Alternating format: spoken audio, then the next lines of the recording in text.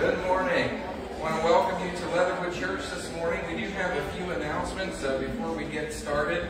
Uh, first of all, youth is tonight at 6 o'clock. Uh, they will be watching uh, The Chosen episode 7 from season 2, uh, starting at 6 o'clock. Um, also, don't forget Tractor Sunday's coming up August 29th. Uh, so it'll be here before we know it. Uh, if you would like to help or assist with Tractor Sunday in any way, uh, please come and see me. Uh, we're going to be working on getting some volunteer sheets out so you can sign up to be a volunteer for Tractor Sunday. Also, our Stranger Things study at Porchview Winery is this Thursday uh, at 7 o'clock. Uh, and uh, it will be continuing through the next couple of months over there at Porchview. Uh, softball practice. Um, I see a couple Oakland guys back there. They're out scouting. Don't listen to this. Softball practice, 6.30 Monday night at Oak Ridge. Uh, and uh, also the game is Tuesday at 6.30 at First Church of God. Their field is right behind the church uh, there on the Rimersburg Road. Uh, also, next Sunday is a potluck picnic. Uh, so we'll be, weather permitting, we'll be having church outside at the pavilion. Uh, and we will be having a picnic right after church. so bring a potluck and um, and uh, we'll see uh, what good things we have to eat following the service. And today there will be a short congregational meeting following the service uh, to vote on putting a new roof on the manse um, and the, the manse uh, shed outside of it. So, anyone else have any other announcements? I miss anything? Yes. Oh, be the light. Oh. That's not Henry. It's his brother. All right, be the yes. Keisha's birthday. Oh, Keisha. Anybody else have a birthday this week? All right, so let's sing happy birthday to Keisha. Keisha, how old are you going to be? 14. So shy and quiet. Let's sing happy birthday to Keisha. Happy birthday to you. Happy birthday to you. Happy birthday, dear Keisha. Happy birthday to you. All right, let's stand, go and greet someone who's around you, and we'll be ready to worship.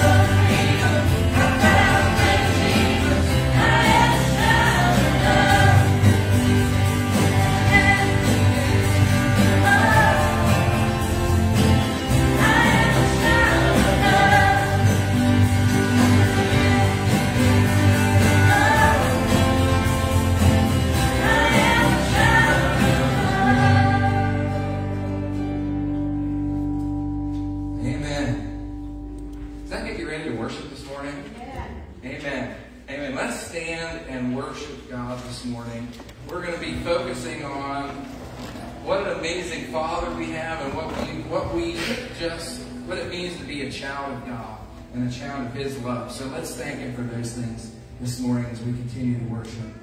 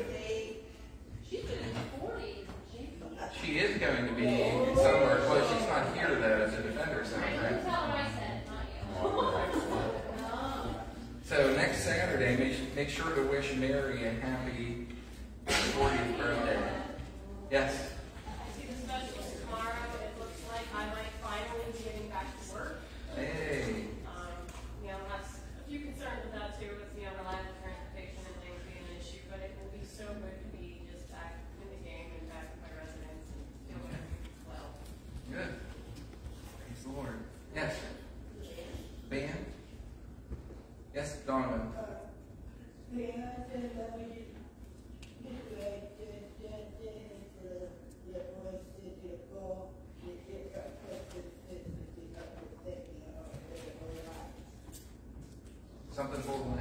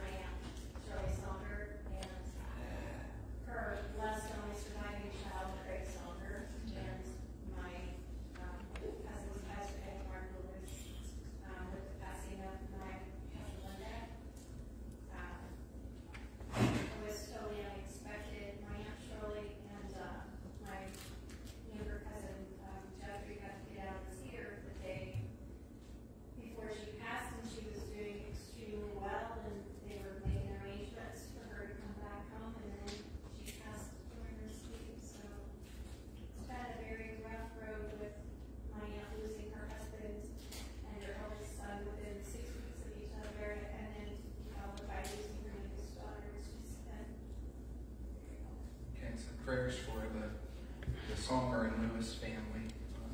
That's Linda. Yes, Dan. Softball team is undefeated. Yes.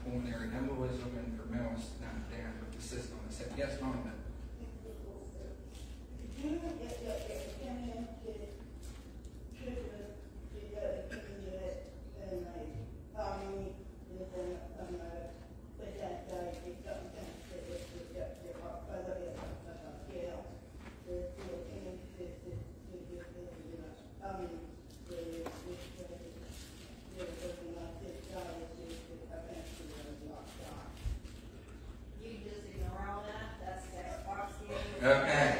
All right. Okay. Maybe. Yes, John. Uh, my dad's cousin is really sick. Okay, dad's cousin. But he has, uh, he lost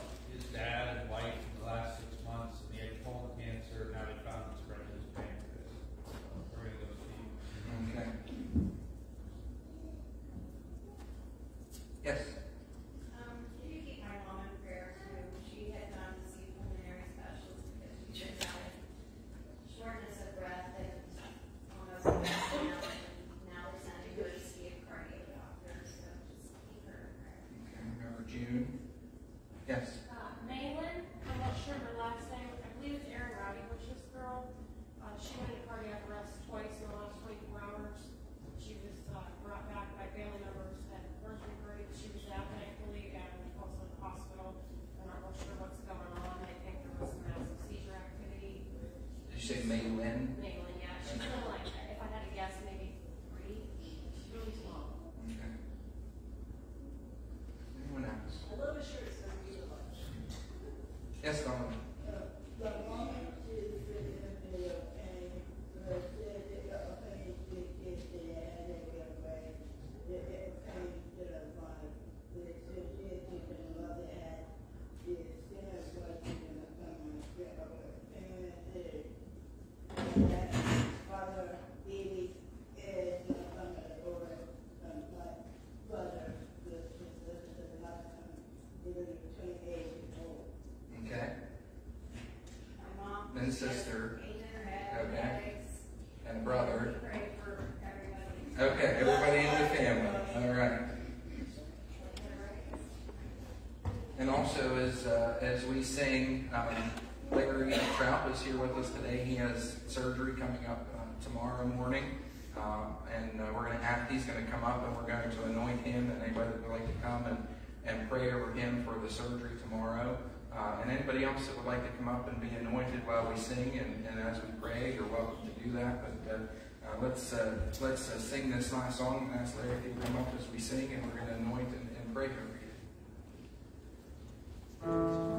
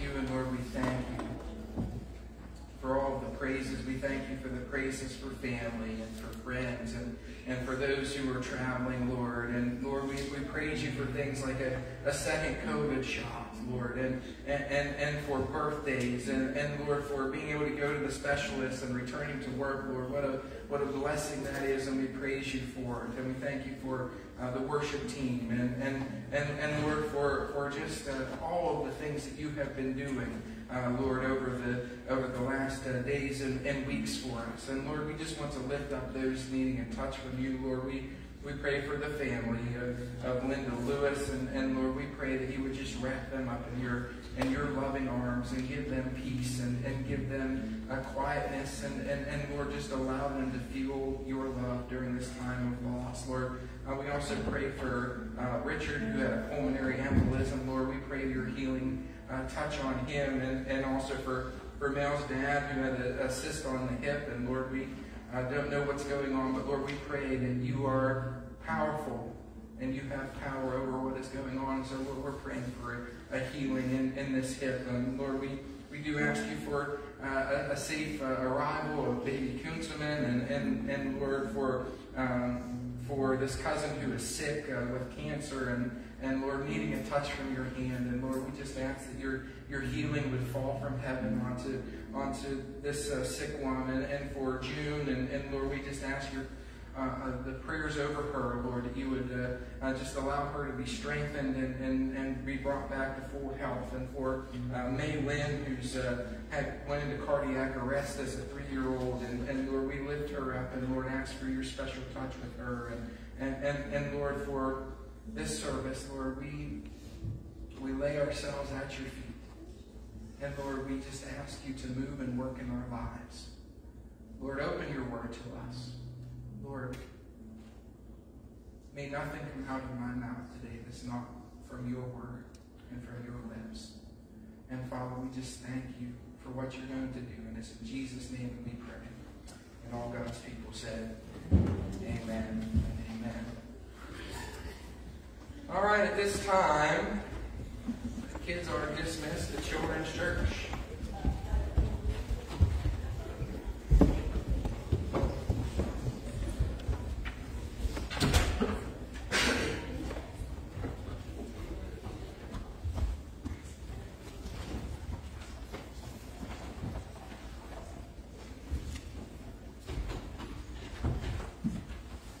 What I hold in my hands here is a potential work of art.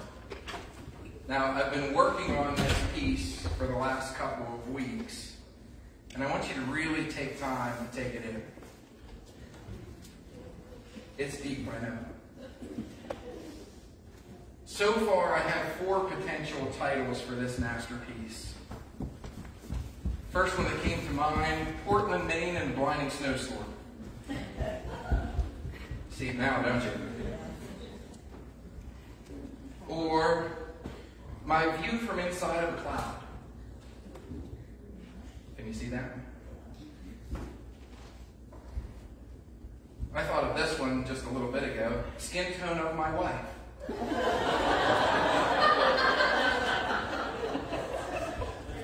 I'm not making fun. I found her attractive enough to marry her.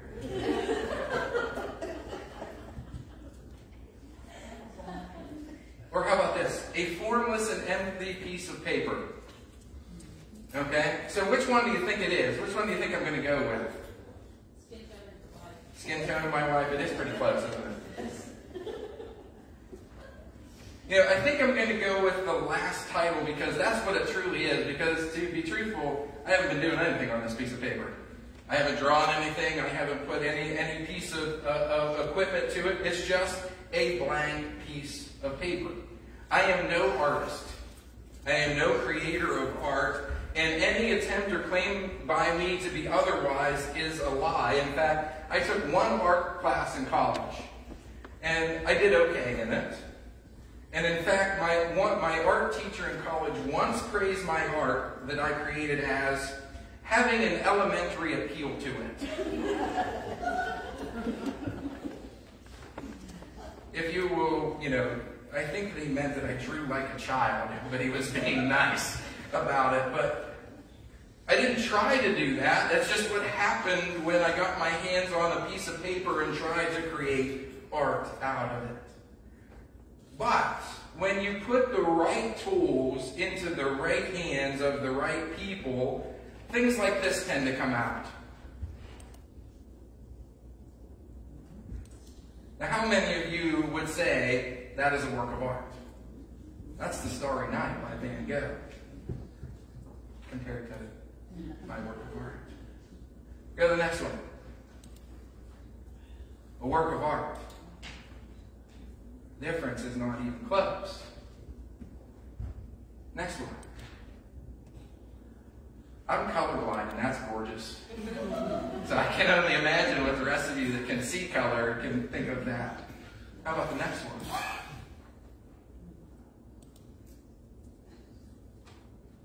One more.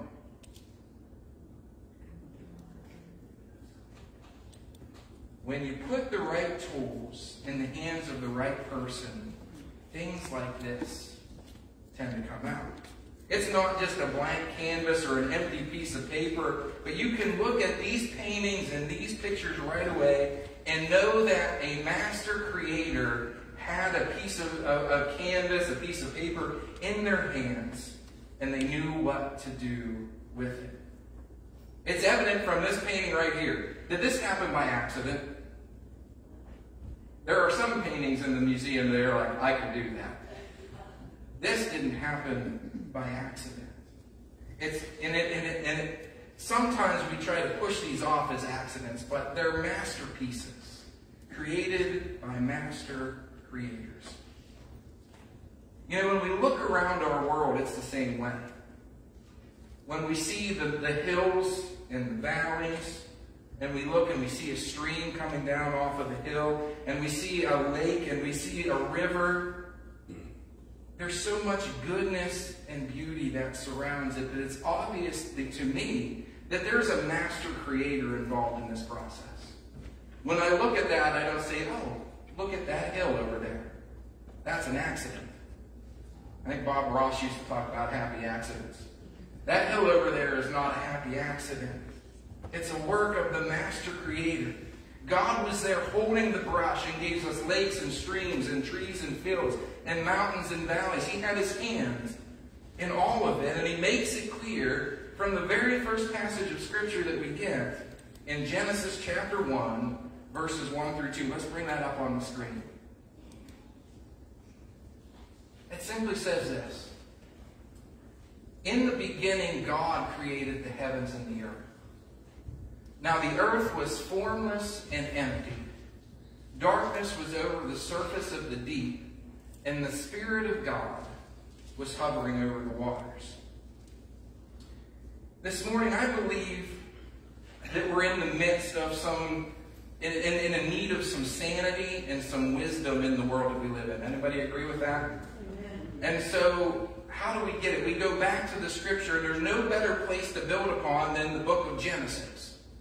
And because it talks about what things needed to happen in the beginning of time and in the beginning of our faith. And so I want to look at where we need to build on uh, in the book of Genesis for the next several weeks. And so we're going to take some important truths from there and unpack them for our own lives. Uh, and, and today I'm going to get started by looking at God, who is the master creator of everything around us. But before we take a closer look at what that means for our lives, let's ask the Lord to, to bless our time. I'm going to ask my wife if she would open us in a word of prayer.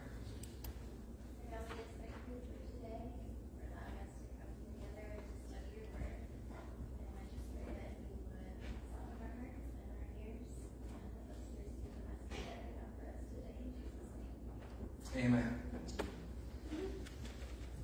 So the first thing that I see from this, this scripture is God is the creator of everything. No kidding, Pastor. But I want you to seriously think about this. God is the creator of everything. It says in the scripture, in the beginning, God created the heavens and the earth. Let's stop right there.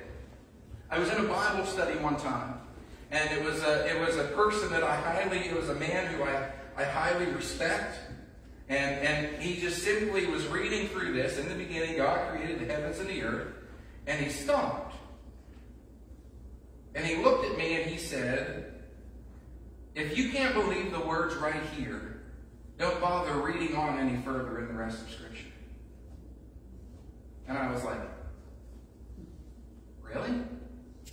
I mean, aren't there some more important parts? And he just looked at me and he said, Well, if you don't believe the first sentence, why would you believe the rest of the Bible?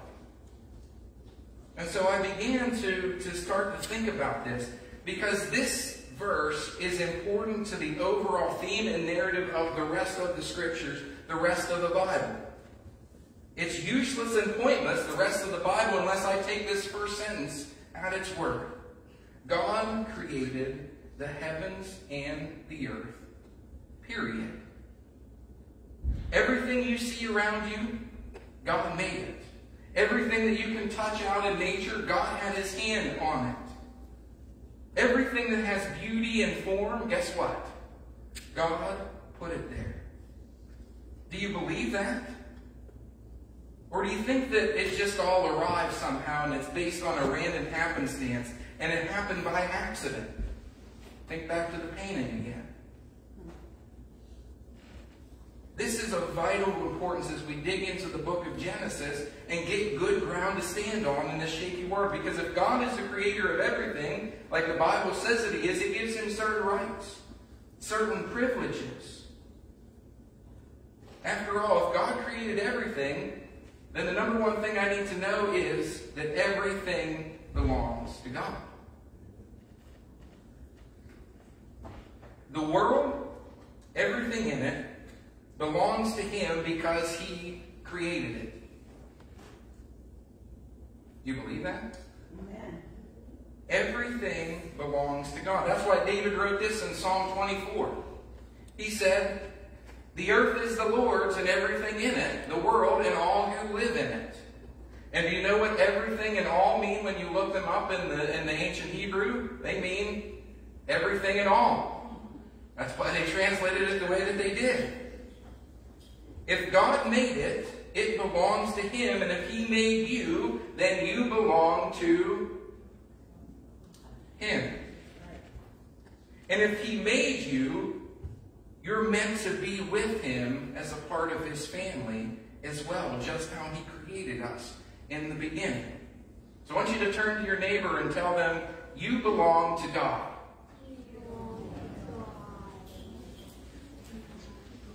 So that's the first thing that we know. If God created everything, everything belongs to God. But also, if God is the creator of everything, there is nothing outside of God's power. There is not one thing that is outside of God's power.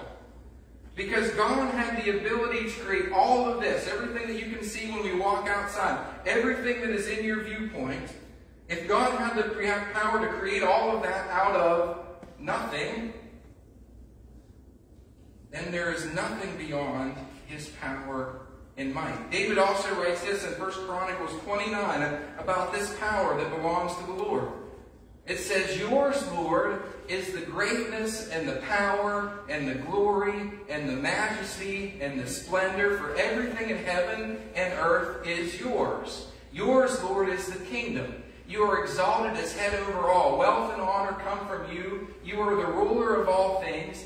In your hands are strength and power to exalt and give strength to all. You see, there's nothing that our God cannot accomplish through the power of his right hand. And we need to know that as we face an uncertain world around us. Because as the Twitter mob comes to, to hang us up, we need to know that we're still not beyond the power of God. God's more powerful than the Twitter mob. As the, as the circumstances of our life come and, and, and, and, and threaten to shake us, we need to know that God, who has created everything out of nothing, has power over the circumstance which I'm now going through. He has all of this under His control. And we used to teach this truth in a little kid song, right? He's got the whole world in his hand. Yes? Yes. We used to teach that to our kids to teach them this that there is nothing outside of the power of our God. And also, because God is the creator of everything, He didn't create everything just because He wanted to create them, but He has a good purpose for all that He has created. God didn't create you to be without meaning. God created you. Do you know why God created you? To be a part of His human family.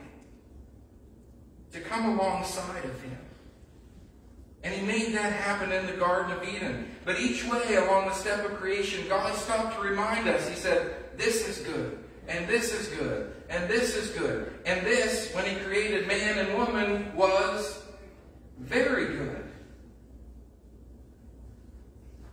This means that it was He's flawless. And, that, and he has a plan for his and, a purpose for those that he has created. And Jeremiah told us this in, in verse in chapter 29, verse 11, with a direct promise from the Lord. He says this: For I know the plans I have for you, declares the Lord, plans to prosper you and not to harm you, plans to give you a hope and a future.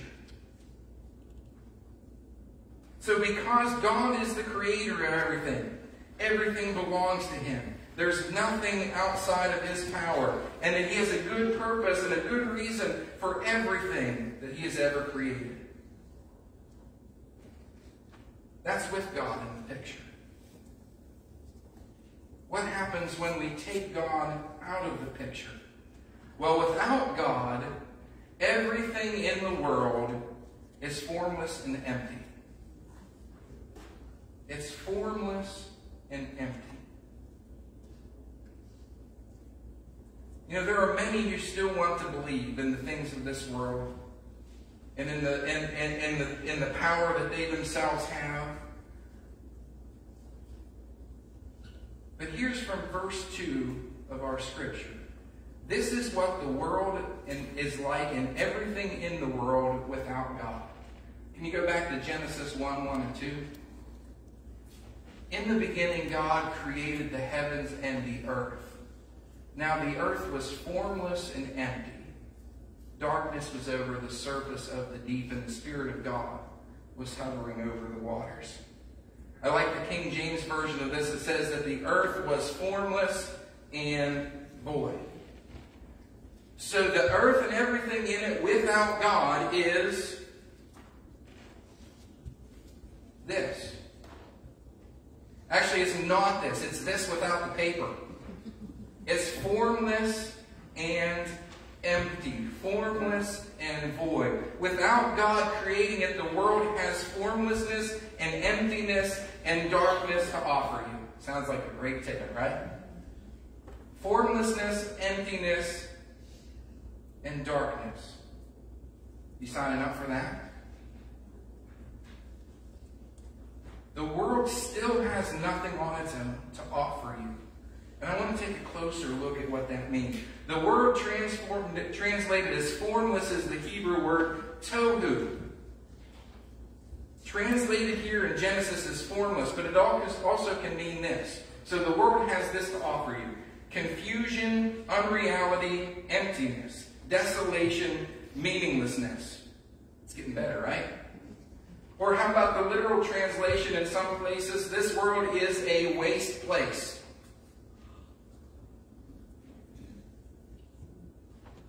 That's what our earth and this world had to offer before God placed his finger of power on, of creation upon it. Or how about this? The Hebrew word for empty or void is bohu, and every time it appears in Scripture, it appears as either emptiness or a void space. It's my white sheet of paper without the white sheet of paper. It has nothing to offer you. The world is nothing without God. Amen. Our world is tohu and bohu on its own, formless and void of every good thing.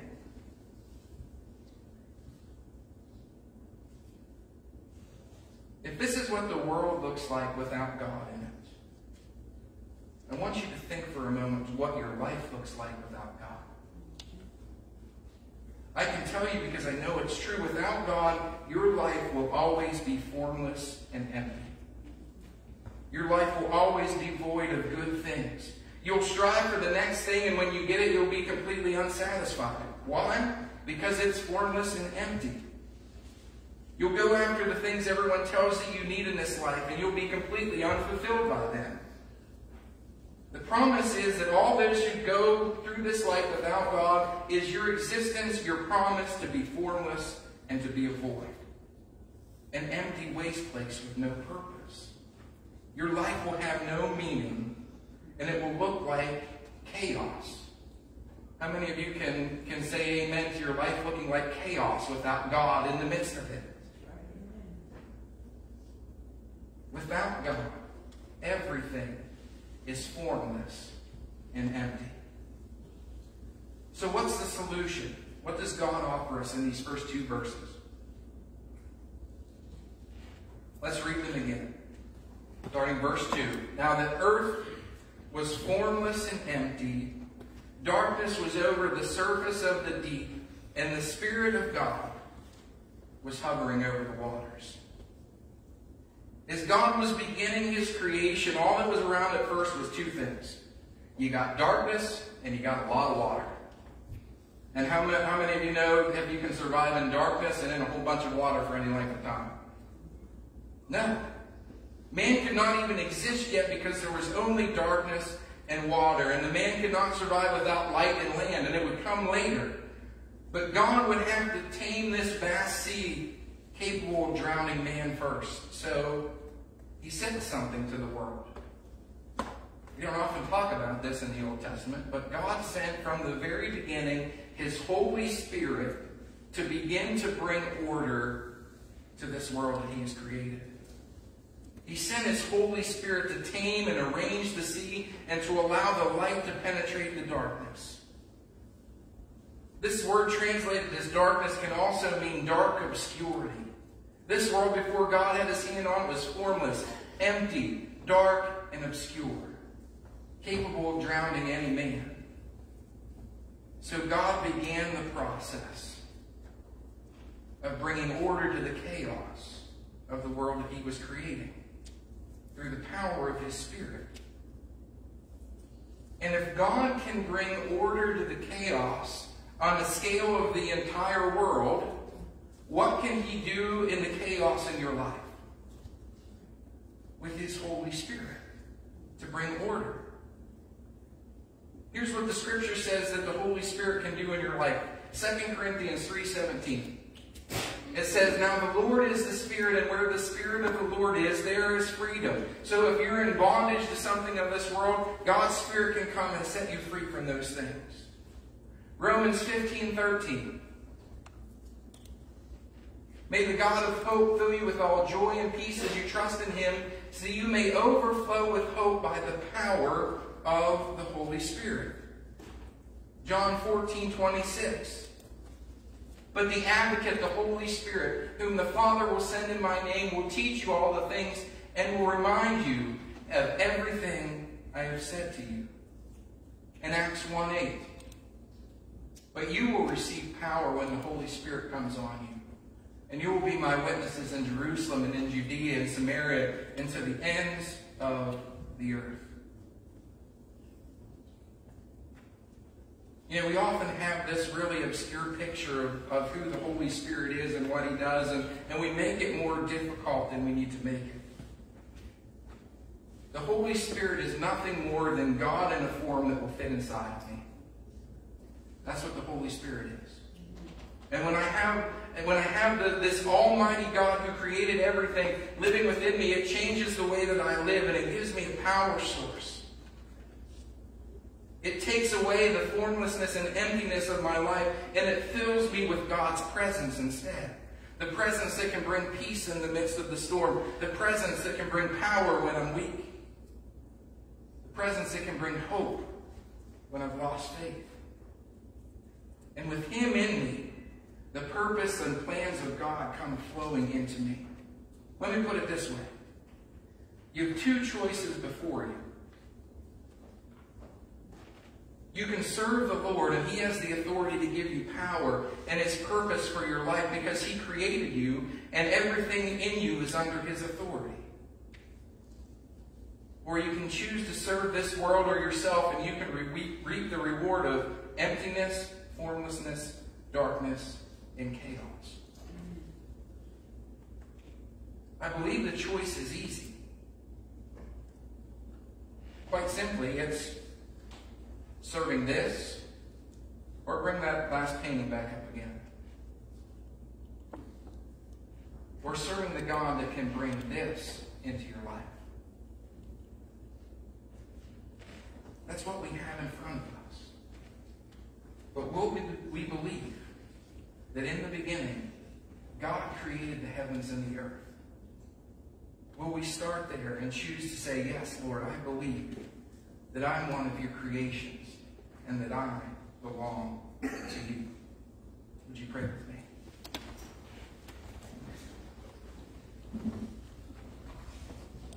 Heavenly Father, we thank you for your word and your message today. And Lord, we do thank you for being the creator of everything that we see. But Lord, that includes myself. That includes each person who is here. We are your creations. We are not a random happenstance. We're not a happy accident. We didn't just get here through a, a, a series of unfortunate events. Lord, you had your hand of creation on us. And you knit us together and formed us while we were still in our mother's womb.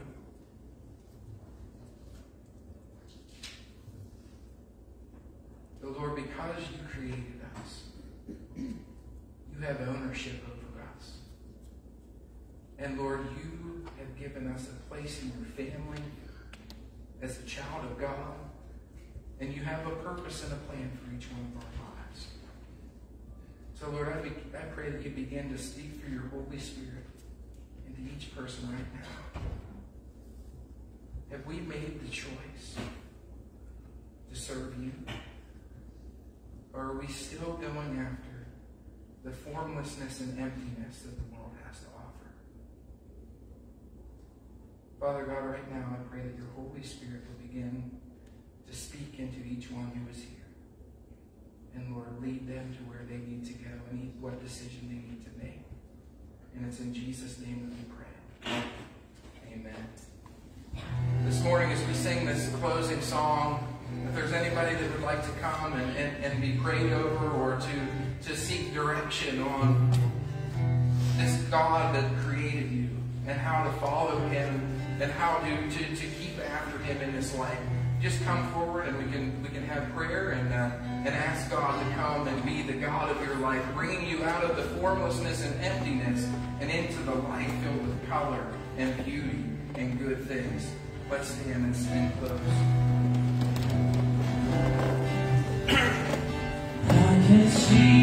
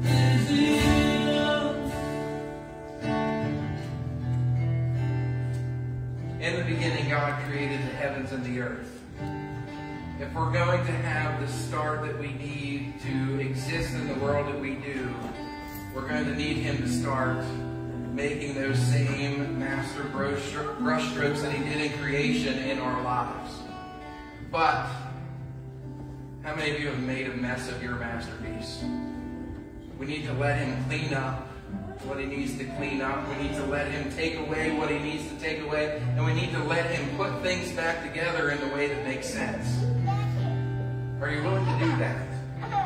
In the beginning, God created you for His plan and His purposes. Do you know what that looks like? And are you showing your masterpiece to the world? Go and do that this week. Next week, we're going to be taking a look at, and then there was light. Go out and be light this week. Amen and amen. You are dismissed. Don't forget about the, the congregational meeting. Quick.